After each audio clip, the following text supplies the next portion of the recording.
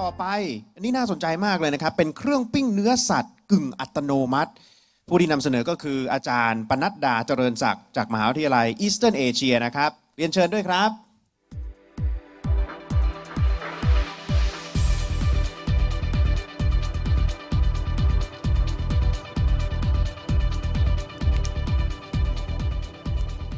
ค่ะสวัสดีค่ะแขกผู้มีเกียรติทุกท่านนะคะ ต้องก่อนอื่นเนี่ยต้องขอบอกเลยว่าวันนี้เนี่ยมีความเป็น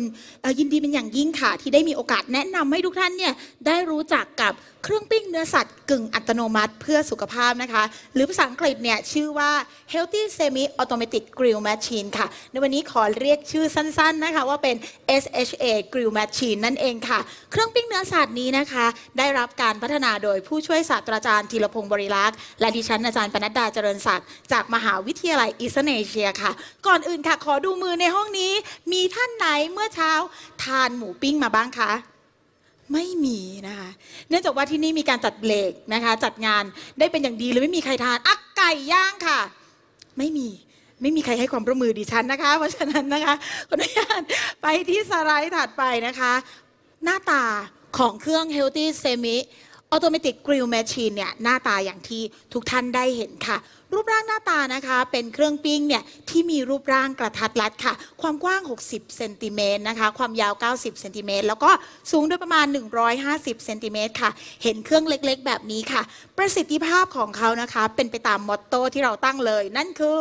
ปิ้งย่างปลอดภัย ห่างไกลมะเร็งด้วย HHA Grill Machine ค่ะทำไมเราถึงบอกว่าเครื่องนี้ปิ้งย่างแล้วปลอดภัย จริงๆ แล้วเครื่องนี้ค่ะ รูปแบบข้างนอกเนี่ยอาจจะดูเหมือนปกติ แต่จะเห็นได้ว่า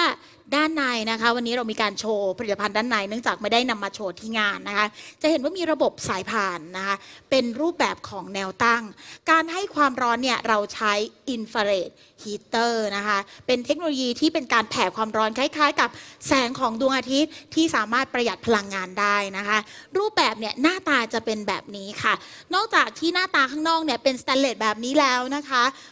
เราจะใช้สแตนเลสชนิดที่เรียกว่า 304 หรือว่าฟู้ดเกรดนั่นเองทำให้เนื้อสัตว์ที่เราปิ้งในระบบนี้เนี่ยก่อให้เกิด เป็นสุขสุขอนามัยเหมาะสมกับผู้บริโภคในปัจจุบันค่ะ เครื่องนี้ค่ะจุดเริ่มต้นในการพัฒนามาจากเพนหรือว่าความเจ็บปวดของผู้บริโภคเนี่ยใน 2 ด้าน ด้านแรกเลยค่ะ ในห้องนี้เมื่อสักครู่ถึงแม้ว่าจะไม่มีท่านไหนนะคะ บริโภคเนื้อสัตว์ปิ้งย่างมาเมื่อเช้า พอทราบว่าที่นี่มีจัดเลี้ยงนะคะ แต่อย่างไรก็ตามค่ะจากสถิตินะคะ จากสำนักงานสถิติแห่งชาติ พบว่าการบริโภคอาหารเช้าของคนไทยเนี่ยอาหารยอดฮิต หนีไม่พ้น หมูปิ้ง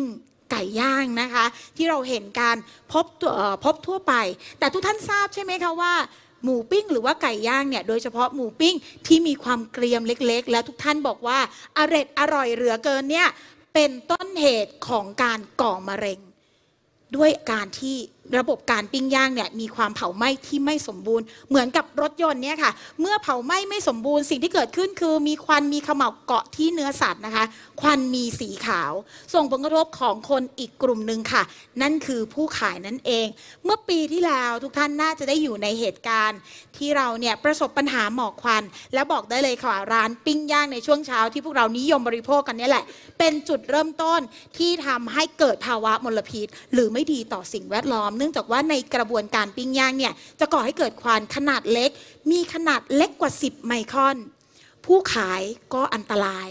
ผู้บริโภคก็อันตราย ทุกท่านที่อาศัยอยู่ในบริเวณใกล้เคียง ที่มีร้านปิ้งย่าง ก็ประสบอันตรายเช่นเดียวกัน เครื่องนี้ค่ะ ประดิษฐ์ขึ้นมาเพื่อแก้ปัญหาดังกล่าวทั้งสองกลุ่ม องค์ประกอบของเครื่องนี้นะคะ ด้านบน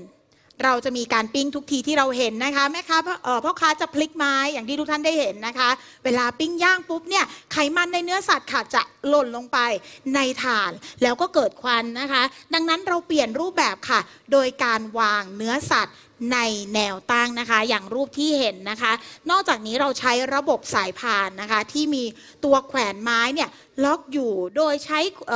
ความร้อนค่ะผ่านทางสิ่งที่เรียกว่าอินฟราเรดฮีเตอร์แล้วก็ในองค์ประกอบของเครื่องเนี่ย เราใช้สแตนเลส304 ซึ่งเป็นฟู้ดเกรดนะคะ เมื่อปิ้งย่างเนื้อสัตว์ของเราที่เราใส่ไปในระบบเรียบร้อยแล้วเนี่ยสุก พอดีแล้วนะคะ เราได้เพิ่มระบบปลดไม้กึ่งอัตโนมัติ ซึ่งจะช่วยให้คนขายเนี่ยเขาประหยัดเวลาประหยัดแรงงาน แล้วก็สะอาดปลอดภัยไม่ได้ถูกมือของคนปิ้งเลย เนื้อสัตว์จะตกลงไปอยู่ในถาดที่เราได้ดีไซน์ไว้ แล้วก็พร้อมจำหน่ายทันทีนะคะกลุ่มเป้าหมายหลักของเราที่วันนี้เนี่ยเราอยากให้ได้มาพูดคุยกันนะคะ นั่นก็คือผู้ประกอบการที่มีความสนใจค่ะ ที่จะเปิดร้านปิ้งย่าง ขนาดเล็ก กลางถึงเล็กนะคะ ซึ่งเหมาะมาก ๆ เลยสำหรับพื้นที่ปิดบริเวณ ไม่ใหญ่มากค่ะ ปริมาณการผลิตเนี่ยที่เราสามารถผลิตได้ต่อวันเนี่ย800ถึง1,000 ไม้ ขึ้นอยู่กับเนื้อสัตว์หรือว่าชนิดที่ท่านเลือกมาจำหน่ายนะคะ และแน่นอนว่ากลุ่มธุรกิจนี้เนี่ย market size ค่อนข้างใหญ่ทีเดียวค่ะ ในปี 2560 เนี่ยมูลค่าตลาดสูงถึง 7,000 ล้านบาท และอัตราการเติบโตของตลาดเนี่ยต่อเนื่องมานะคะถึง 10%ต่อปี เห็นแค่นี้เนี่ยก็รู้ว่าเป็นตลาดที่น่าสนใจมากทีเดียวนะคะ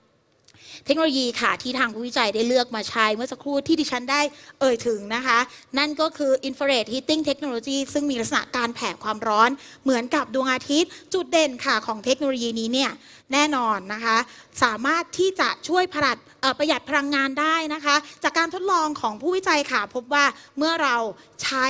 เครื่องของเรานะคะในการปิ้งย่างเนื้อสัตว์ 5 ชนิดเนี่ยส่งผลสำคัญก็คือว่าเราประหยัดกำลังไฟฟ้า เนื้อสัตว์ขนาดเล็กสุดเนี่ยเราใช้กำลังไฟฟ้าเพียงแค่